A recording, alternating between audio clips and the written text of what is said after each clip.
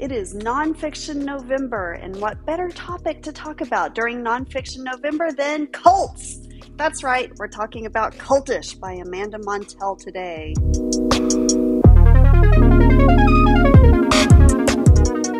Hello, I've got my little helper today to help me talk about Cultish by Amanda Montell.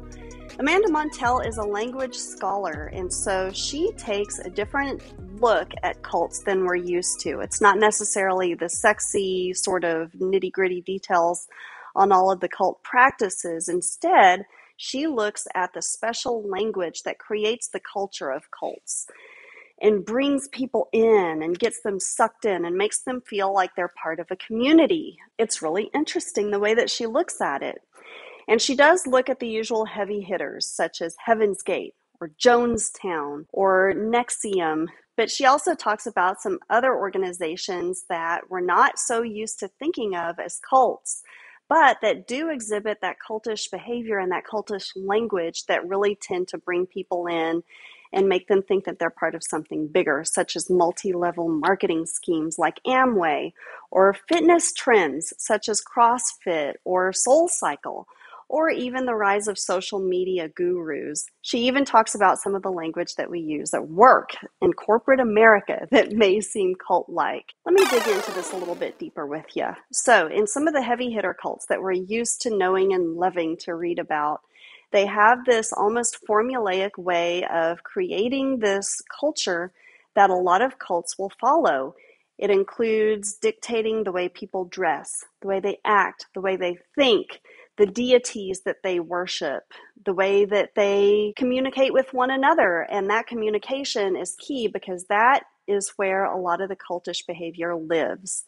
They'll build up their own special language, their own special acronyms, their own special meanings for certain words that are special just to that cult. So, for example, with Scientology, you'll see terms like Sea Org or SP or Thetans or a whole bunch of other acronyms or terms that are unique just to them. Same thing with Heaven's Gate. Side note, there's a documentary on HBO over Heaven's Gate that I highly suggest that you watch. It's excellent. But in Heaven's Gate, they changed everything about the person. The haircuts became the same. The names all had that special language effect to it where they would add Odie to the end. I would be Beth Odie. You would be Lulodie. Would you be my Lulodie?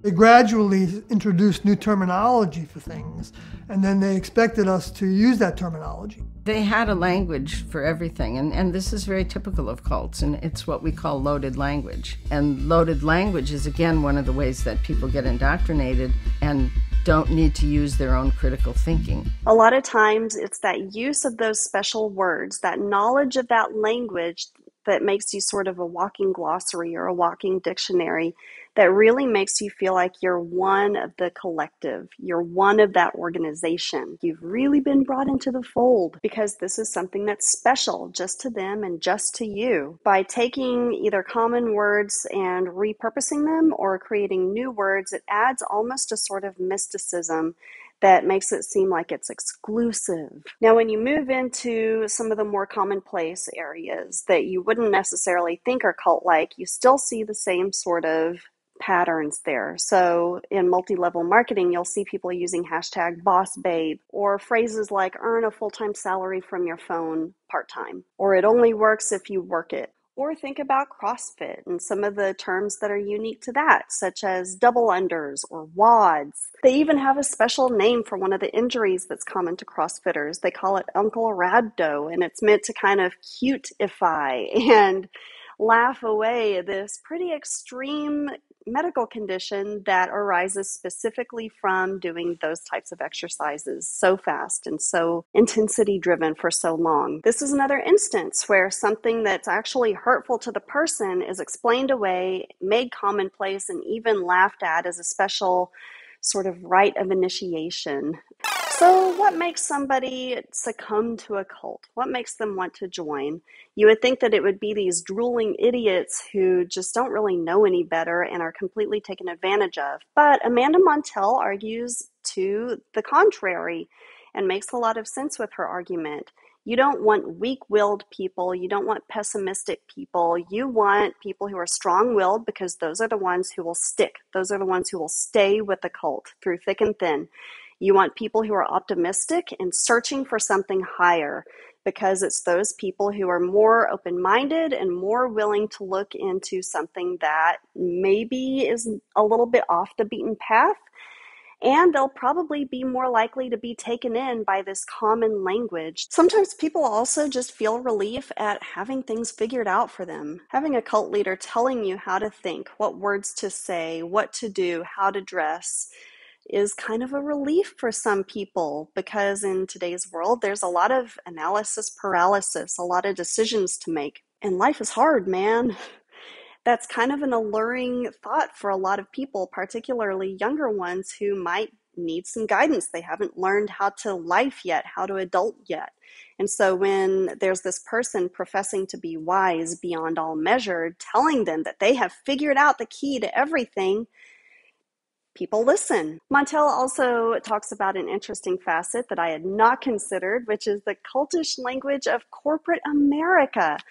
Even some of those words like calling themselves a family you're not a family you're coworkers or using the word sunset as a verb like when is this product going to sunset? or words like scrum or talking through being a team player or chastising someone who protesteth too much i hadn't thought of any of that stuff before and i have to say that i am actually personally guilty of using a lot of the language contained within this book I too have chanted along with video exercise fitness instructors.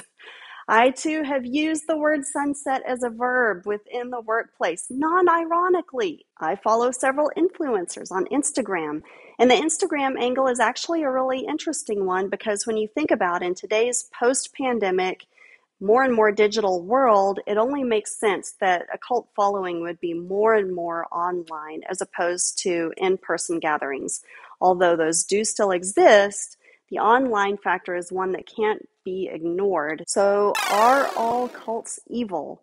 Well, the easy answer is yes. The bad ones are. So, things like Jonestown, Heaven's Gate, of course, those are harmful cults. But does that mean that all of the more innocuous sounding ones, such as Younique or Amway or CrossFit or any sort of exercise craze or corporate America, is that necessarily evil?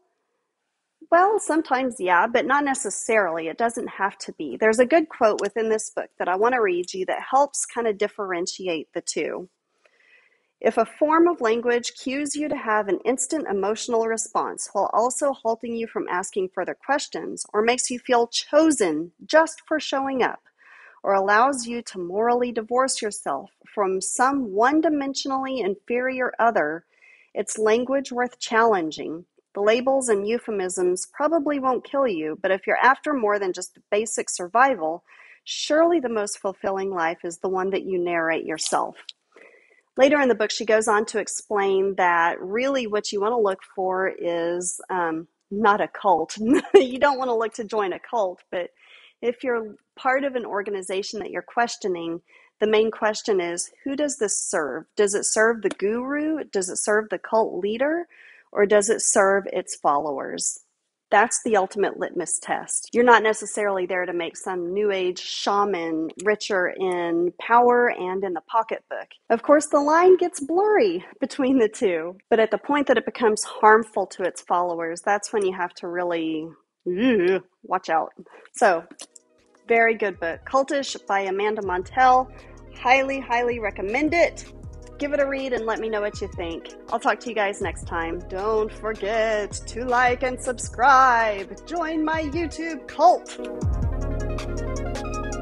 Oh, are you going to help me? Are you going to help me? All right.